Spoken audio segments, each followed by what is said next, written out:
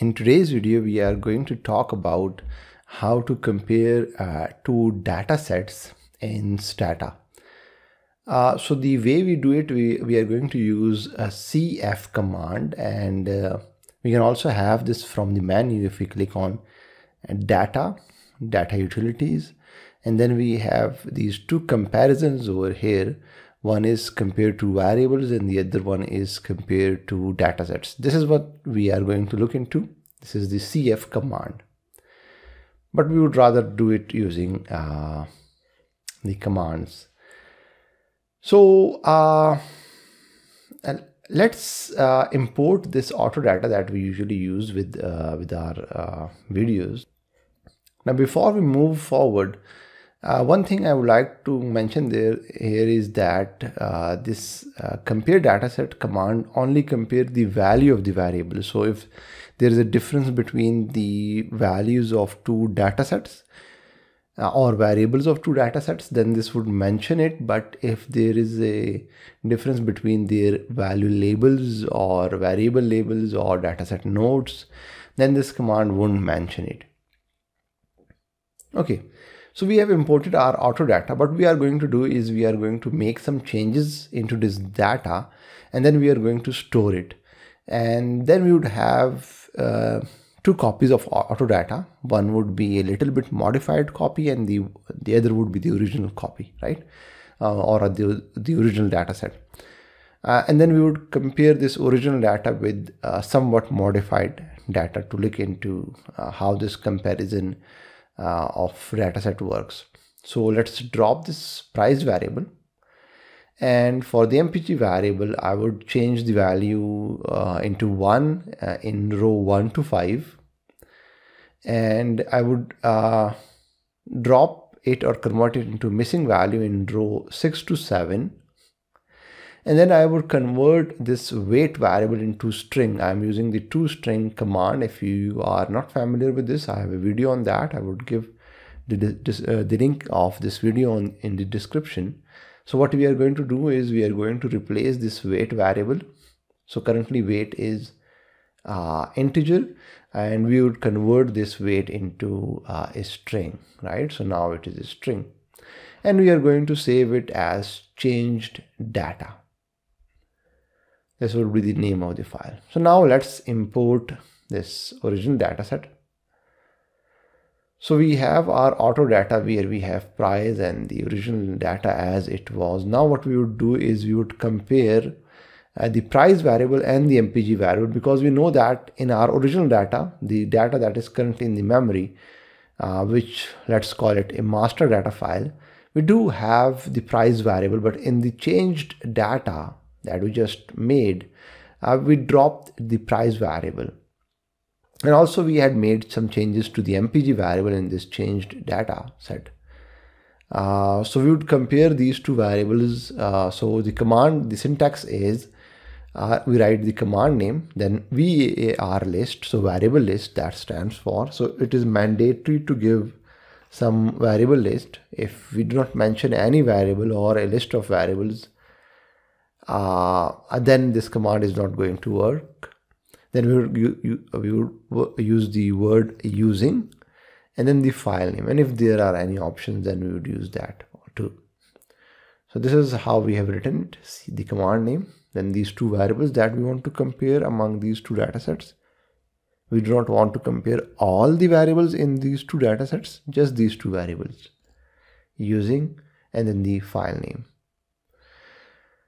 So what it says is that price does not exist in the using. So this is the master data and the data that we are comparing it with is called the using data. This is the same terminology that we use when we merge different data sets. So uh, price do not exist in the using data and with the MPG we have seven mismatches and that is correct because we made uh, changes into seven rows and then it gave us a return code. Remember the return code is just an a, code uh, that stata uh, each number have a different meaning. So this uh, r means that uh, there were certain changes between these two data sets and zero would mean that there are no changes. We can also compare all the variables within uh, these two datasets. For that, we would either use underscore all or we would use this wildcard asterisk. So both would work same. So instead of writing the variable name, we just write underscore all.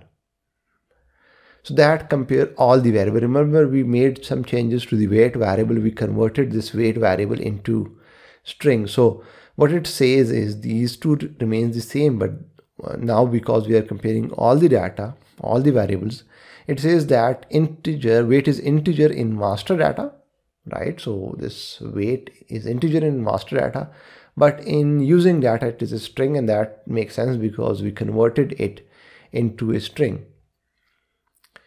Uh, the same result we would get if we use asterisk rather than underscore all. But remember, if there is a match, we have more than three variables, but it isn't showing uh, the at the remarks for all the variables, and that is because uh, all other variables exactly matches with the another data set. So so where there is a match, it wouldn't return any comments, but um, if you wanted you could also use the all option but we would get back to that. Remember how I said that variable list is mandatory? If we use uh, this command without a variable list it would return an error okay so as we saw that it just gave us the remarks for only those variables that didn't matched what if we wanted to see all the variables so we would use this all option. Remember options comes after comma and do not confuse this with underscore all. Uh, this underscore all is for all the variables and this all is just an option in this command. So see how other variables did match except for price, MPG and weight. So this command would give us uh, four different types of uh, remarks. Either it would be match or it would be uh, does not exist in the using file. If a variable didn't existed in the master file, then it, it won't return any error, right? So uh, let's say if I dropped uh, length, right? So length is not there in the master file. And if I do this uh, comparison again then it wouldn't give us any uh, comments about the length. Although length exists in the changed file but because it does not does not exist in the master file it it wouldn't bother about that. So what it does is it takes all the variables in the master file and then compare those variables in the using file. So if there is a variable missing in the master file uh, we wouldn't know about that so it returns three types of outputs uh, four types of outputs matched does not exist in using or the number of mismatches or uh, a variable was um, of different uh, uh, data type in the master and the using type. We also have this verbose option and what it would do is it would return all the mismatches, right? So price didn't exist, so obviously uh, all the values didn't matched. But in MPG, we had seven mis mismatches, and it is saying that the observation uh, uh, one had 22 value in the master file, but it had value one in the using file, and that makes sense because we converted it into one. And similarly, in uh, in row six and seven, we as we converted it into a missing value, it is saying that in the master file it does have a value of 18 and 26 but in using file it is a missing value.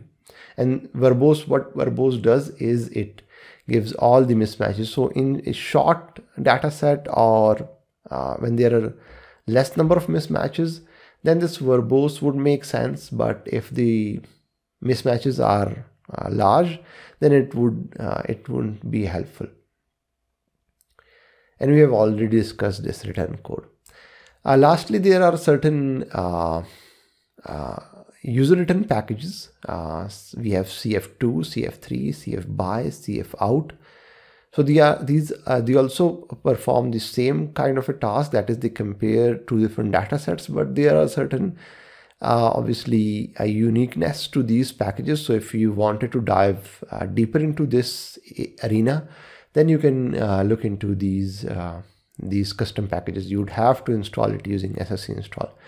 So that's uh, for today and I hope you enjoyed this video. Uh, do hit the subscribe button and uh, thanks for watching this video.